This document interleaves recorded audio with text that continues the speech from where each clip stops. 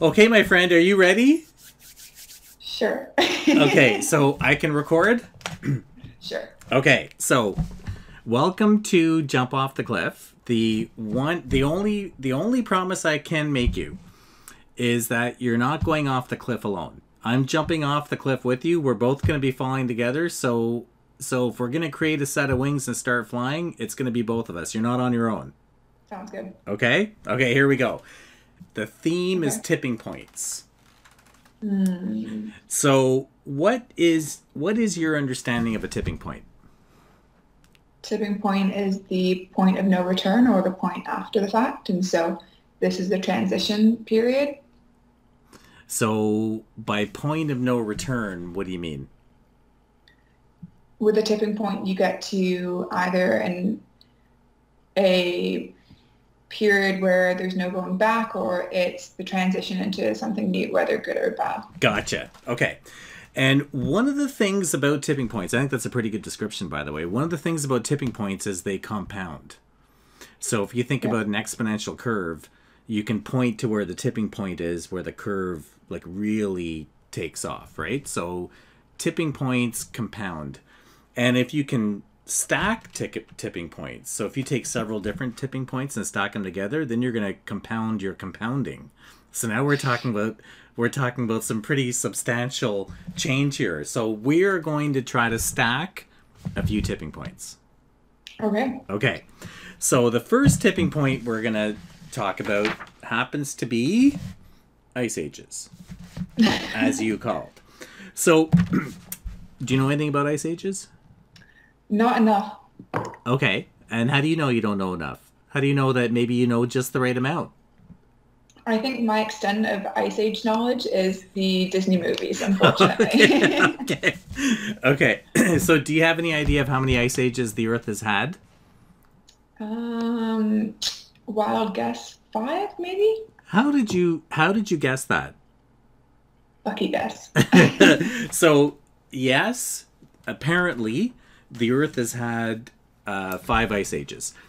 There was a Serbian scientist by the name of Milutin Milankovic, and basically his theory was that the gravity, the pull of gravity of the sun and the moon, um, affects the Earth's tilt, right?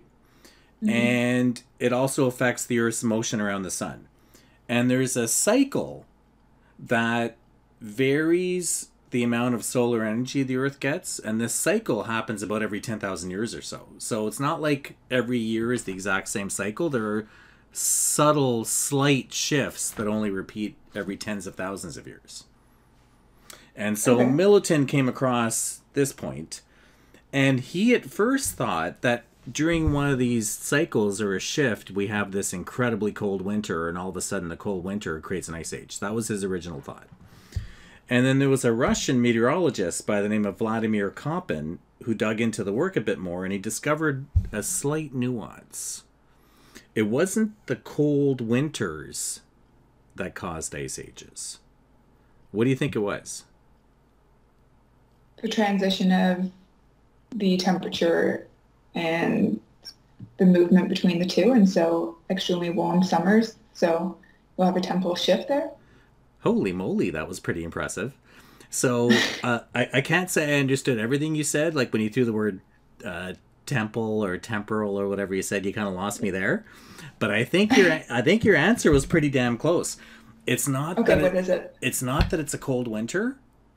It's that it's a it's a slightly cooler summer. And what does a slightly cooler summer cause? An inversion? What do you mean by that?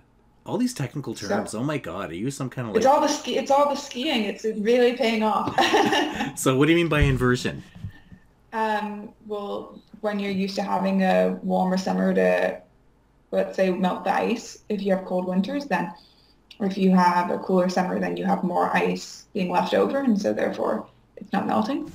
Nailed it. That's exactly what it is. So you have a winter, you have a slightly cooler summer, therefore just a little bit of that snow remains, right? So the snow doesn't completely melt, just a little bit remains. And then what happens? builds up over time. And... Builds up over time. So now the next winter, snow lands on that little bit of snow that remains. So now you have more net snow. And then mm-hmm. that slightly cooler summer melts even less of that snow, right? And so yeah. now the following winter, you have a, more snow until you reach this tipping point where you have so much snow that summer barely happens because there's so much snow. So basically, when you start with a very little amount of snow, it compounds. Snow compounds. Mm-hmm. And it's a perfect example of starting with a base of a very small amount of something and then just let it compound over time. What, what's making you laugh on that? Why are you laughing? No, it's just it's very relatable into other aspects. like what? Leaving emotions and compounding emotions. And... Oh, there you go. Okay, so what made you say that? That was cool. What made you say compounding emotions?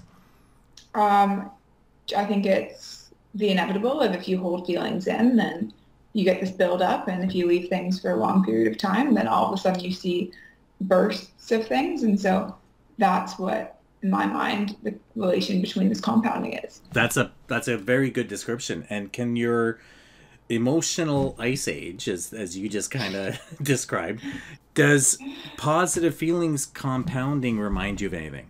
Um i don't know. I mean it's it's vice versa of holding those feelings in. I think that when life gets busy and you're not able to appreciate those small successes and so then all of a sudden you can have that moment in time where you get a break and you're overwhelmed with that happiness because finally you're able to appreciate everything that's gone on.